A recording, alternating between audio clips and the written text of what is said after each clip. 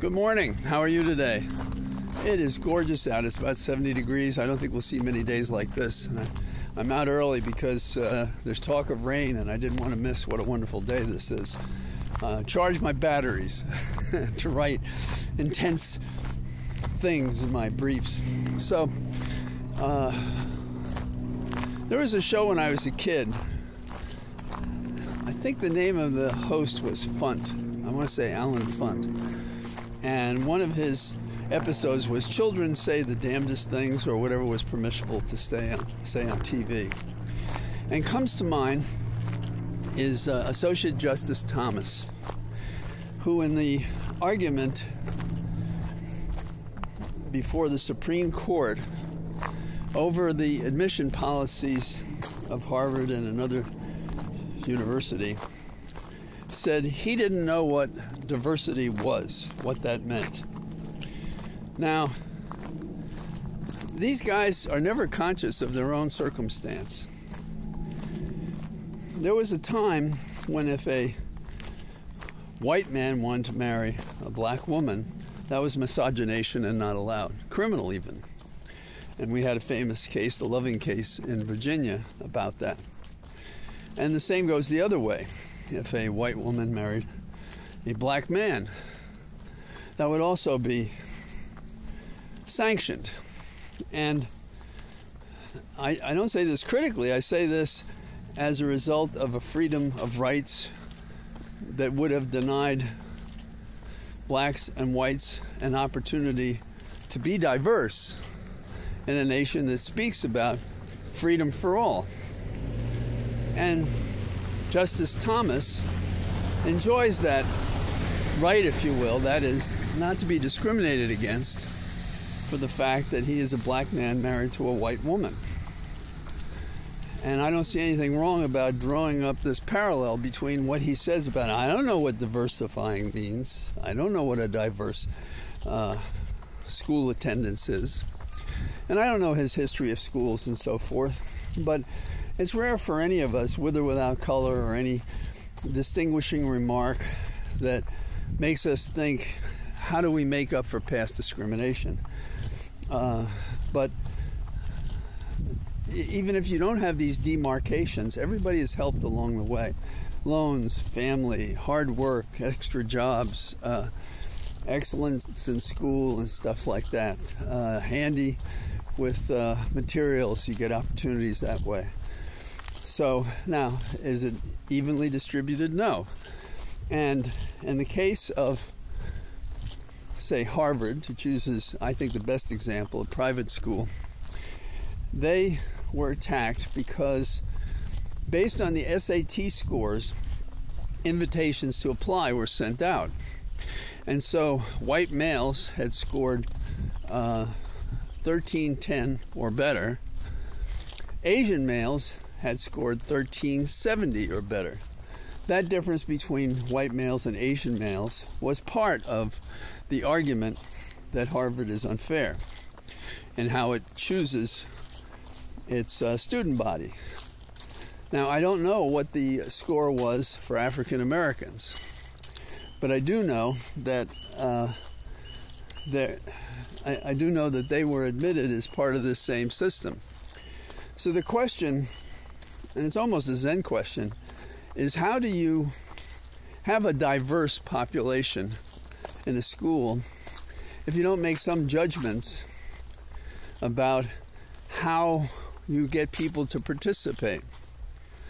Now, the argument to just sort of close your eyes and blindly go forward means that you're going to have, I guess, a more homogenous class. When I was uh, applying to Columbia Law School, there was a there was a question about affirmative action, which is what we call it.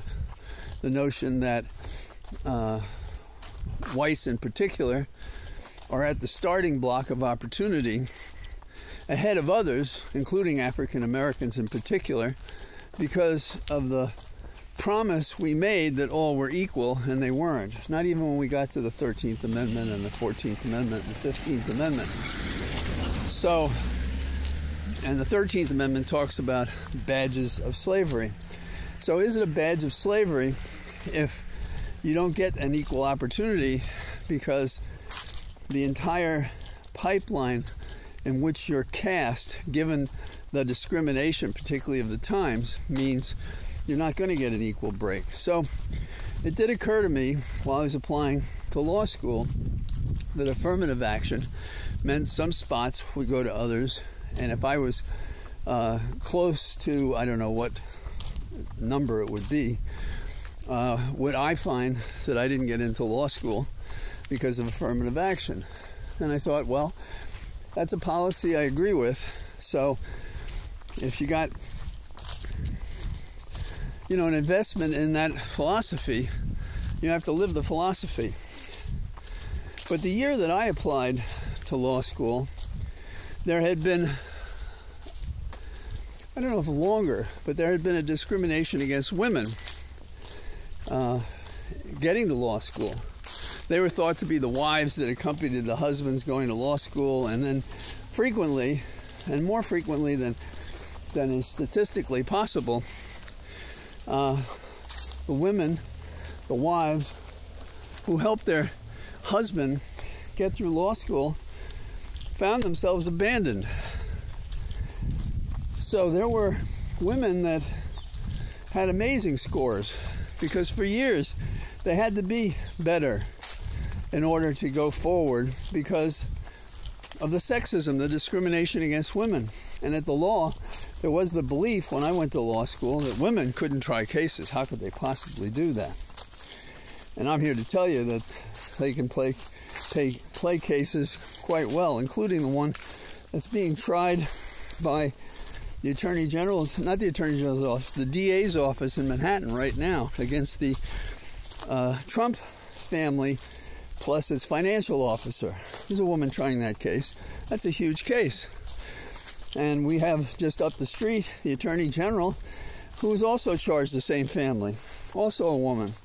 So we, we have abundant proof that women uh, can perform and do perform and are extraordinary as lawyers and as trial lawyers. So it appeared that I was more likely to be edged out of the first year class by women than by affirmative action for African Americans.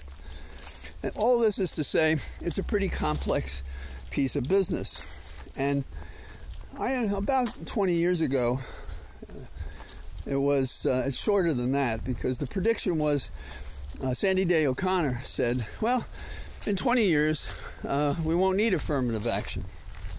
And I think that was that was a good faith hope. And it might have been true if if we didn't have such abiding discrimination in this nation. All we have to do is look at the last several years. Look at the reason that Biden ran for president because of what happened in Charlottesville and how uh, racially twisted and anti Semitic and everything else that was.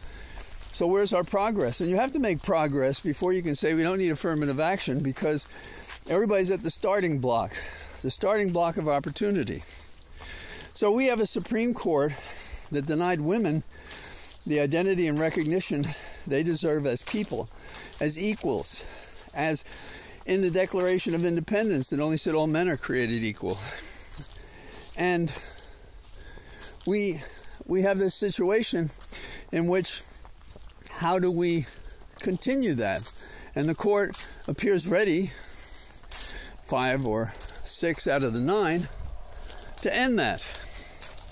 Well, this is a parallel attack on the rights and liberties of individuals, of the notion that diversity is the hallmark by which we measure that all men and women are equal before the law. So it does appear that the Supreme Court will issue an opinion that compromises the opportunity of African Americans based on a skillful arrangement of alleged discrimination involving Asian Americans. With all due apology to Asian Americans, uh, the whole thing is suspect. Nor can we ignore the fact that the district court found no discrimination in the trial of the matter. So here we have the facts apparently found by a judge to be right and to find no fault with affirmative action as practiced by Harvard. And the Supreme Court is going to reach into the situation and declare that they have to stop these policies. They can't even mention affirmative action. So, America is becoming a place for white supremacists, male only, and uses what argument it can, however facetiously it invokes that argument, so that they can diminish the rights of blacks. Now, there are lots of other things going on, but uh, this is the only thing that really struck me as worth thinking about today. Because, you know, there's a reaction saying, affirmative action, why should you give them an advantage? Well, the truth is that the SAT scores are only one of the things, and the SAT score is something, uh, you know, given people's background, some will test better, and test better, and some will not because of their cultural background. And since it's only one of a number of things that is looked at, it seems to me that we should not be denying any tool that might help us make a diverse community. And I guess only Justice Thomas will be unable to know what diversity means. I offer, given what I assume is his IQ, an alternative explanation. He's a bigot. He's discriminating against people who need opportunities like he had opportunities that were based on his accomplishment, but did not ignore the fact that he was a person of color. And we as a society have to realize that we have institutions that tend toward bigotry, tend toward discrimination. And I am talking about a lot of police forces across the country, and in recent years we know which ones they are. So we have to do more, not less, to gauge how we treat people equally. And are we going to make that 20 year deadline that Sandra Day O'Connor mentioned? Maybe not, given where we are today, but the test should be have we reached it before we can say we don't need affirmative action? We finally got everybody to the starting post. So that's what I'm thinking today in this uh, wonderful fall uh, occasion in the Cathedral of Trees. So good luck. Talk to you soon. Bye bye.